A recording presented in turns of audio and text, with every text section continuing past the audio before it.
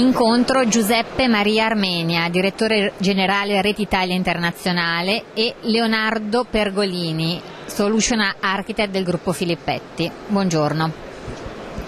L'ente a cui lei fa riferimento, l'Istituto Nazionale per il Commercio Estero, ha sviluppato un progetto di virtualizzazione del parco hardware, sia server sia client.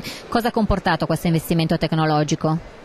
Ha comportato un progetto piuttosto complesso, noi abbiamo dovuto eh, prendere una, una, situazione vecchia in cui tutti i PC erano distribuiti in formato client, eh, aggruppare tutti i server, virtualizzare tutto il, il sistema e successivamente quindi poter offrire il, il servizio eh, senza la necessità di un PC fisico e questo ha comportato anche dei, eh, sicuramente dei elevatissimi eh, costi di investimento sostenuti nell'arco di alcuni anni, ma soprattutto ha portato dei, dei sostanziosi risparmi nella gestione dell'IT dell'Istituto Nazionale per il Commercio Estero.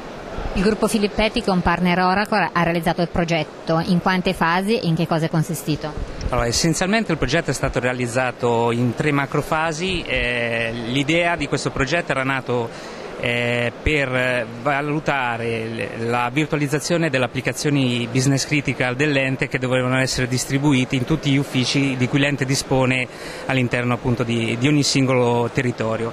Successivamente eh, effettuato questo pilota dove è stata valutata appunto la compatibilità applicativa con eh, l'ambiente di virtualizzazione si è provveduto ad eh, mettere in produzione una, una, prima serie di utenti per valutarne appunto eh, l'efficienza efficienza derivata dall'utilizzo e successivamente all'espansione, quindi al passaggio dal pilota alla produzione di tutti gli utenti con la nuova infrastruttura interamente virtualizzata di circa 60 server.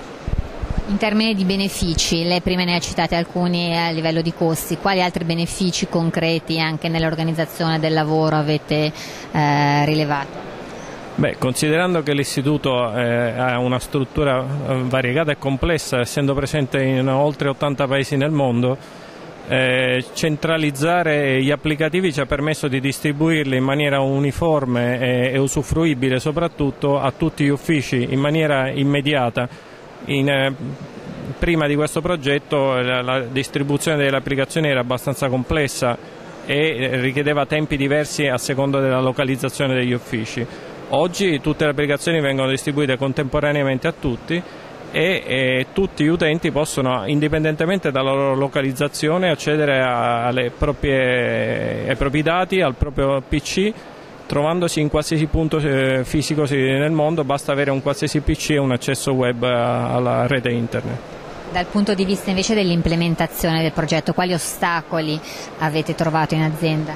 Allora, sinceramente non mi sento di parlare di ostacoli, nel senso che eh, proprio il passaggio attraverso una fase di pilota e il tutto coordinato anche con un'attività molto intensa di project management ha consentito poi di passare all'ambiente di produzione, quindi dal fisico al virtuale, in una maniera abbastanza indolore. Diciamo che forse l'ostacolo più grande che c'è stato è proprio il passaggio della postazione dall'utente dal PC a una postazione fin client, quindi eh, diciamo un modo nuovo di lavorare lavorare per gli utenti, però lato server, lato implementazione e consulenza diciamo che siamo stati abbastanza bravi.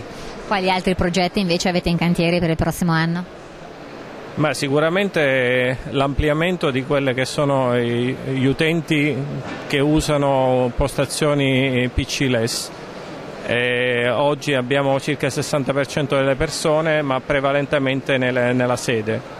Nel futuro noi prevediamo di estendere questo tipo di servizio in maniera uh, base, mentre oggi sono eh, diciamo, in forma sperimentale anche in tutti gli uffici che stanno all'estero, non solo le applicazioni ma anche il PC.